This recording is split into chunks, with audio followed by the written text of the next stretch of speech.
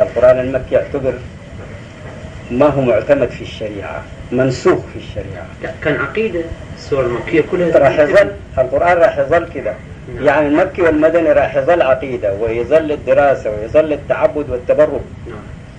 لكن الشريعة اللي كانت نسخت القرآن المكي لأنه أعلى من مستويات الناس وأكبر من حاجاتهم؟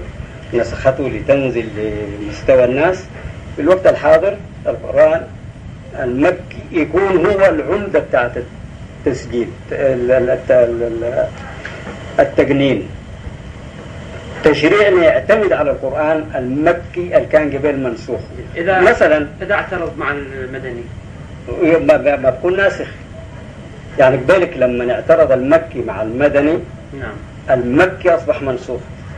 هسه بيعترض القرآن المكي مع المدني المدني يصبح منسوخ لأنه النسخ قبل الحكمة فيه أنه النزول لحاجة الناس وحل مشكلة الناس. فلما جاء القرآن المكي يقول آه وقل الحق من ربكم فمن شاء فليؤمن أو من شاء فليكفر. أو جاء ليقول فذكر إنما أنت مذكر لست عليهم بمسيطر. القرآن ده لما استمر 13 سنة ما استجيب له جاء القرآن المدني. القرآن المدني نسخ طوالي متروك هو للعبادة وللتأمل وللعقيدة ولكل حاجة لكنه منسوخ في حق الشريعة. فجاء وقاتلوهم حتى لا تكون فتنة ويكون الدين لله. فإذا انتهوا فلا عدوان إلا على الظالمين. بعد ما كان النبي منهي عن القتال أمر بالقتال. نعم.